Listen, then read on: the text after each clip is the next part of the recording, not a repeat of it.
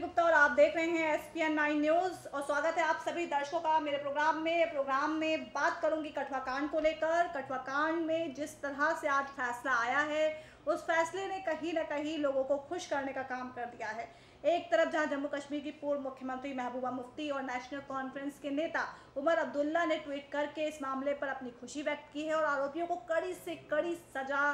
देने की बात कही है। और इसके अलावा, जिस तरह से सियासी गलियारों में अभी कठुआ कांड फिर से चर्चाओं में आ रहा है, मीडिया तो हालाँकि सुबह से इस पर कवरेज कर ही रहा है, लेकिन कोई मिलाकर फ़िलहाल जिस तरह से आरोपियों के खिलाफ फैसला आया है, उसके बाद लगता है कि शायद अब पीड़िता के माँ बाप भी इससे संतुष्ट हो सकते हैं। चलिए, संतुष्टि की बात कर रही हूँ, खुशी की बात कर रही हूँ तो खुशी तो व्यक्त की है। दीपिका एस. रजावत ने, जी हाँ दीपिका एस. रजावत वही महिला वकील हैं जिन्होंने शुरुआत में पीड़ित पीड़ित पक्ष का जो केस लिया था और जबकि पीड़ित पक्ष इतना मज़बूत नहीं था पैसे आर्थिक तौर पे, लेकिन फिर भी दीपिका ने उनका केस लड़ने का फैसला किया। हालाँकि उन्हें बहुत सी धमकियाँ मिली। यहाँ तक कि दीपिका ने यह भी स्टेटमेंट दिया था कि उनका भी रेप हो सकता है, लेकिन फिर भी दीपिका ने किस तरह से संघर्ष किया, पीड़ित पक्ष का केस लिया कोर्ट में अपनी बातें रखी, अपनी दलीलें रखी और पीड़िता के माँ बाप का कहीं ना कहीं सहारा बनने की कोशिश की। हालाँकि बीते साल नवंबर में जो था पीड़ित पक्ष ने उनसे अपना केस वापस ले लिया था, लेकिन फिर भी दीपिका की ये देखिए कितनी बड़ी एक ज़िंदा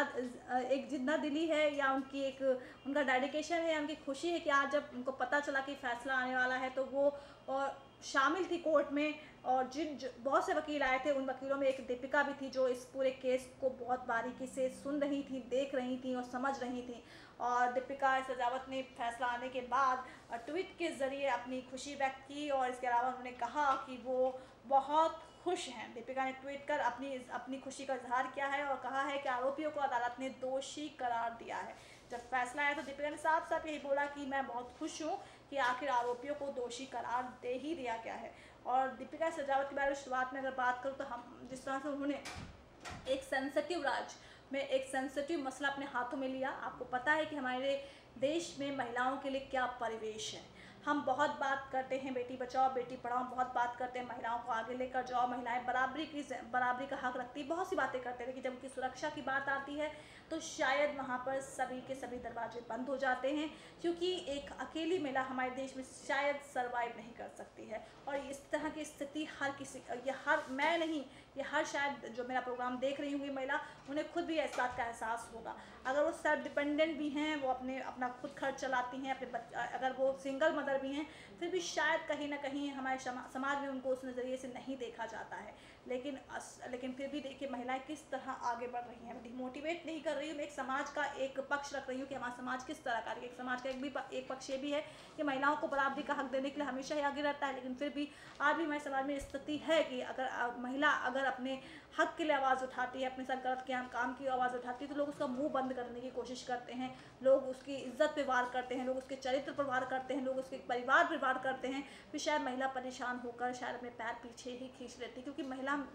अगर हिम्मत वाली हुई तो वो शायद संघर्ष कर ले जाएगी लेकिन महिला अपने परिवार के आगे इतनी मजबूर हो जाती है कि शायद वो संघर्ष नहीं कर पाती। लेकिन दीपिका ने वो सब भी किया इतना केस सेंसिटिव था फिर भी वो आरोपियों के खिलाफ गई उन्होंने आरोपियों के खिलाफ पूरी तरह से तहकीकात की उन्होंने जिस तरह से पूरे केस को हैंडल किया वो वाकई एक ता, काबिल तारीफ़ है किस तरह से उन्होंने पूरे केस को एक महिला होने के नाते एक वो सोशल एक्टिविस्ट एक्टिविस्ट भी है, माना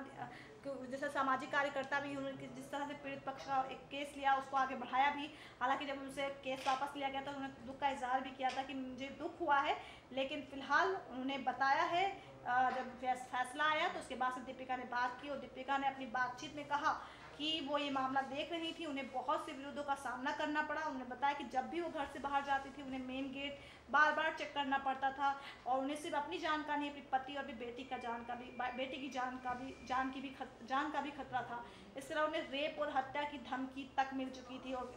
धमकियों का तो ये आलम था कि लोग कहते थे कि ये केस आपने हाथ में लिया है, उनके दिमाग में बात घूमती रहती थी कि वो लोग एक दिन उन्हें भी मार देंगे। और केस हाथ में लिए दस महीने बाद दीपिका ने कहा था कि इस लड़ाई में वो अकेली खड़ी हैं, यानी उनका कोई भी साथ नहीं दे रहा है। और बहुत सी बातें मीडिया में बोली थी कि आ, उन, उनके परिवार पर हमला किया जा सकता है उनका भी रेप किया जा सकता है वो सुरक्षित नहीं है। बहुत सी बातें परिवार की इज़्ज़त को तार तार करने के लिए कुछ भी किया जा सकता है। उन्हें लग, उन्हें डर लगा रहता था कि कभी कोई आकर उनके घर में नारकोटिक रख दे उन्हें फंसा दे इसलिए भी वो अपने घर के तालों दरवाजों को भी बंद करने की बात बार बार चेक करती थी।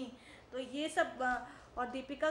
एस रजावत जम्मू कश्मीर की जानी मानी तो सोशल एक्टिविस्ट हैं और एक जानी मानी वकील हैं लेकिन कठुआ कांड में पीड़ित पक्ष का केस लेने के बाद वो सबसे ज़्यादा चर्चाओं में आ गए उन, और उनकी दिलेरी उनके जज्बे की हर किसी ने तारीफ़ की। और सबसे बड़ी बात तो है कि जैसा धार्मिकरण किया जा रहा था इस पूरे मसले का लेकिन देखिए यहाँ पर किस तरह से एक पक्ष दूसरे पक्ष के में आ गया तो यानी कि ये तो एक पॉजिटिव ही पॉजिटिव है उसमें सकारात्मकता ढूंढनी चाहिए कि सब कुछ मज़हब से ऊपर ऊपर है इंसानियत सबसे पहले और शायद यही दीपिका ने निभाई भी। फ़िलहाल दीपिका एस बहुत खुश हैं और उन्होंने खुशी का इजहार किया है कि मैं बहुत खुश हूँ कि आरोपियों को सज़ा मिली। नमस्कार।